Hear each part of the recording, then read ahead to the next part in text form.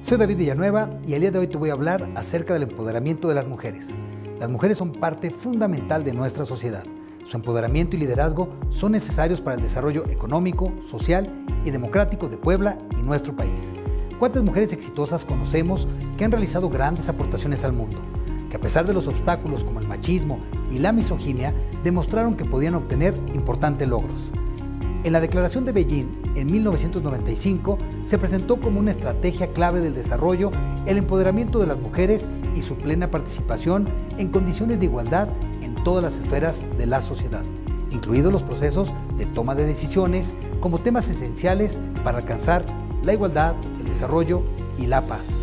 El empoderamiento y el liderazgo son elementos que se complementan para dar paso a que sus voces y acciones impacten en la igualdad. Por ello quiero compartirte 10 puntos básicos para fomentar el empoderamiento. Toma conciencia de tus derechos, capacidades e intereses. Promueve la igualdad. Actúa con responsabilidad social. Involúcrate en relaciones igualitarias y de respeto.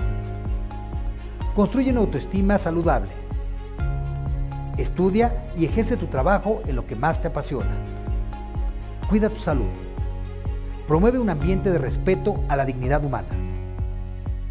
No dejes que nadie te diga que no puedes. Y lo más importante, comienza hoy. Como dijo Mary Wollstonecraft, no deseo que las mujeres tengan poder sobre los hombres, sino sobre sí mismas. Soy David Villanueva y déjame todos los lunes estar contigo.